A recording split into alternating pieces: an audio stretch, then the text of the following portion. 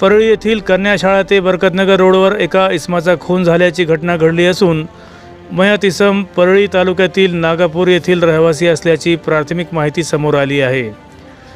प्राथमिक माहितीनुसार नागापूर येथील अलाउद्दीन हबीब शेख हे बरकतनगर येथे काही एका कार्यक्रमासाठी आले होते.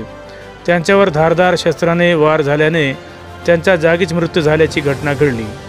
मयतास उपजिल्हा रुग्णालय येथे आणले असून या खुनाचे कारण अद्याप कळाले नसून संभाजीनगर पोलीस घटनास्थळी दाखल झाली आहे. या घटनेने सर्वत्र खळबळ उडाली आहे.